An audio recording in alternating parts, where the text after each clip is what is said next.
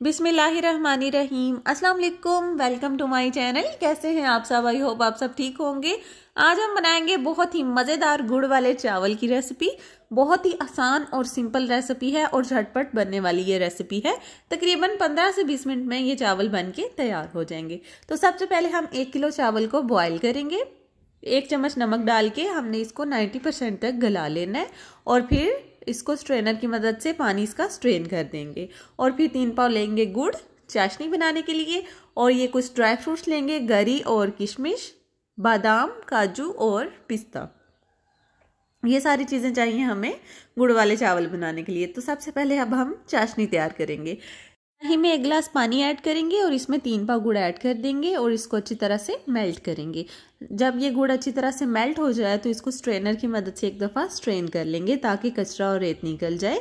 फिर इसमें हम दूध ऐड करेंगे। दूध ऐड करके इसको थोड़ा सा पकाएँगे और जैसे ही हम इसे पकाएँगे तो ये मैल वगैरह इसकी अलग हो जाएगी। फिर कड़ाही में हम आधा कप घी लेंगे और तकरीबन तीन से चार अदद इसमें हरी इलायची ऐड करेंगे और दोबारा से फिर हम चाशनी को स्ट्रेन करके ही इसमें ऐड करेंगे ताकि जो दूध डालने से मैल वगैरह अलग हो गई थी। वो भी अच्छे से स्ट्रेन हो जाए। और इसको स्ट्रेन करने के बाद फिर हम इसे पकाएँगे तकरीबन दस मिनट तक। जब एक तार में ये आ जाए तो समझे कि हमारी चाशनी तैयार है। फिर इसमें हम बॉयल किए हुए चावल ऐड करेंगे। चावल को हमने 90 परसेंट तक गलाया था। इसलिए अब हम चाशनी को ज़्यादा मज़ीद इसलिए नहीं पकाएँगे क्योंकि चावल थोड़े इसमें मज़ीद गलेंगे। अब हम इसको कन्वर्ट करेंगे इस चाशनी में चावल को। और अच्छी तरह से सारे चावल को चाशनी में मिक्स कर लेंगे।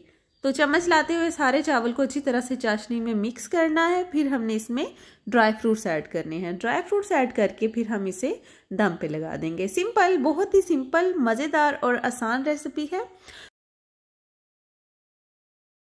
बहुत ही मज़ेदार और डिलीशियस चावल बने हैं।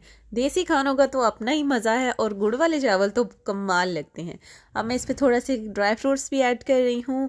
अपनी पसंद से आप भी ये रेसिपी ट्राई करें और मेरे चैनल मरियम ऑफिशियल को लाइक करें शेयर करें और सब्सक्राइब करें। और साथ लगे बेलाइकन के बटन को प्रेस कर दें ताकि मेरी हर आने वाली वीडियो आपको सबसे पहले मिले। Thank you